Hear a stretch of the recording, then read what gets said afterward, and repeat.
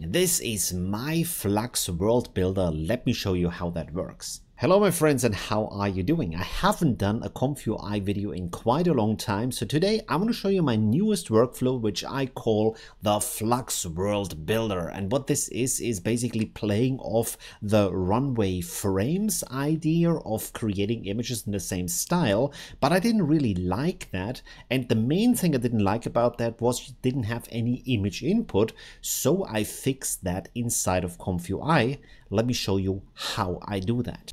So first let me show you some examples where we have this as an input and this is very stylistic. It's an image created with Krea so it's not exactly based on the photo look but here we have the result. I have generated on that with the photo look. It's a little bit different, but the light and the style is very similar for that portrait. Next, we have here a motion blur night photo. And as you can see, this has no subject in it, but the style is interesting. It's very analog. It has this kind of artistic vibe to it. Here is the result I have generated with my method and as you can see, it is again also an analog style photo with this night motion blur, very similar colors, pretty cool look, completely different scene.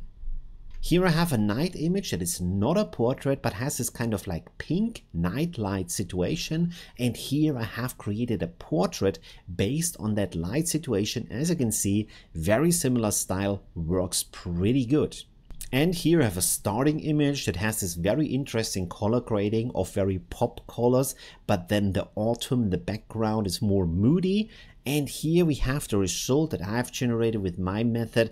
And I would say it looks pretty similar from the colors and the artistic style. So here we are on a website actually, but you can use it offline with ComfyUI exactly the same thing. I'm just using this because well, I can render it online. It's a little bit easier. Anyways, what I'm doing here is pretty interesting. So first of all, let's have a look over here. So this is apply style model over here with this.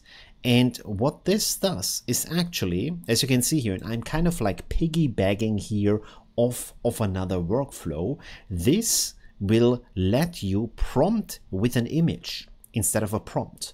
But I'm not using it like that. I'm using it in a different way. And the reason why I'm not using it like that is because IP adapter for Flux is not very good, but IP adapter for 1.5 is pretty good. So we're going to mix two of them together. And this is a solution that basically works together in both ways. So here I have the image input that I only use to a certain degree to give me basically the style. But because this is using an image as a prompt, it would generate what it sees in the image. Because of that, we have to generate the image first for the content with 1.5 and then regenerate it again with Flux. So here is how that goes in a pretty interesting way. Over here, we're going to load the image. Then I have here a string.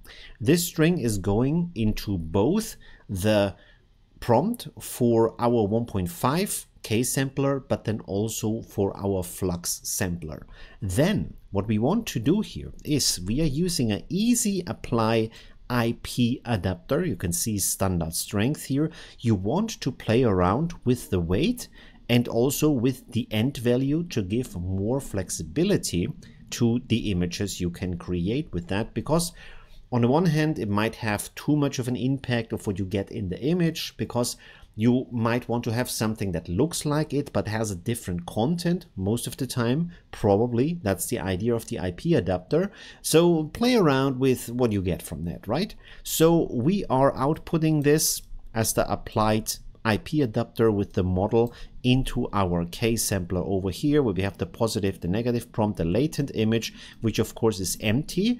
And this will generate an image for us that is, first of all, low quality. As an example for that, I want to show you this image here where the face is bad and the rose is way too big, but it has the colors in there, it has the composition in there, it has the subject in there. This already helps us a lot because then let's go back to the workflow. when we have generated the image, we are going to send that image. First of all, here I have it as a save. You don't need to do that. It's just for me so I can test it better. And then we go down here into Clip Vision encode and send that into apply style model. Again, you want to play around with the strength here to see what you get. In this case, you want to have the style and the image content. This is why we use 1.5 so that we can have the content and the composition set up already in the right way and just re-render it for the higher quality with Flux. As you can see here, this is part of the conditioning. So this goes into our basic guider, which combines the model and the conditioning and goes into the guider of the sample custom advanced sampler. Now this makes it a little bit more complex than it use or needs to be because we have to have all of these inputs here, the noise, which is the seed, then down here we have the sampler, we have the latent image here, in this case, we have one batch size and over here we have the input for the width and the height. And then also here you have the basic scheduler, which also gives you the steps, the denoise, and of course the scheduler. And of course, you also have to do the classic thing. So we have to load the diffusion model, in this case, Flux 1 depth. You can use other Flux models if you want to. We have the dual clip loader here. We have the VAE loader below that. We have the Flux guidance here. And also down here, we have the model sampling Flux, which could help you with details. You can play around with these values. I let them as they are and it worked pretty good.